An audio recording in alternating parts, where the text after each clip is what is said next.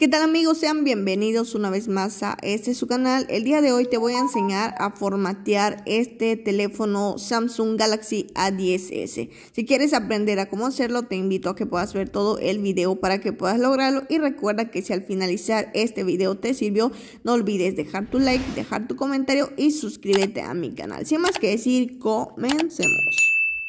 Lo único que tienen que hacer amigos es seguir todos los pasos para que puedan lograrlo. Aquí tenemos este teléfono Samsung Galaxy A10. Si te funcionó este método en cualquier otro teléfono Samsung, déjame en los comentarios indicándome exactamente el modelo. Y bueno, lo primero que tienen que hacer es presionar el botón de volumen arriba más power al mismo tiempo. Lo van a mantener presionado hasta que aparezca el menú de recovery. Presionan fuertemente y como pueden ver aquí lo tenemos. Una vez que salga esto, sueltan y como pueden ver aquí dice Reboot System No, ya que si presionan esto estaríamos reiniciando el sistema, pero en este caso van a bajar con el botón de volumen abajo y suben con el botón de volumen arriba. Ok, una vez dicho esto, bajamos a donde está la opción que dice WIP Data Factory Reset. Para seleccionar tienen que presionar el botón de Power para seleccionar esta opción. Vamos a presionar el botón de Power, presionamos y nos va a salir nuevamente este menú. Dice, ¿quieres borrar todos los datos del usuario? Nos da dos opciones, cancelar y restablecer configuración de fábrica.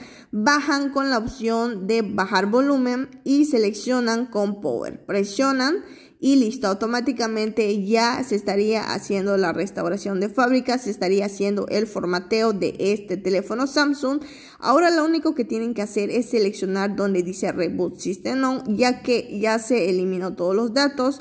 Presionan con el botón de Power, presionamos, ahora el teléfono se estará reiniciando pero ya con el formateo exitoso. Ahora solamente tienen que esperar a que el teléfono encienda, no presionen ningún otro botón, esperen a que el teléfono encienda por sí solo para que pueda iniciar de manera correcta. Recuerda que si este video te funcionó, deja tu like, deja tu comentario y suscríbete a mi canal. Bueno, vamos a esperarlo, es necesario que tengan paciencia para que el teléfono inicie de forma correcta, amigos. Vamos a seguir esperando. Cuando el teléfono inicie lo que tienen que hacer es agregar su Gmail y contraseña. Es el mismo que tenían antes de hacer el formateo.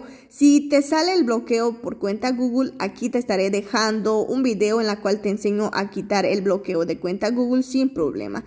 Hemos llegado al final de este video amigos. Espero que este tutorial te haya servido. No olvides dejar tu like sin más que decir, me despido, no sin antes decirles que Dios te bendiga y nos vemos en un próximo video. Chao.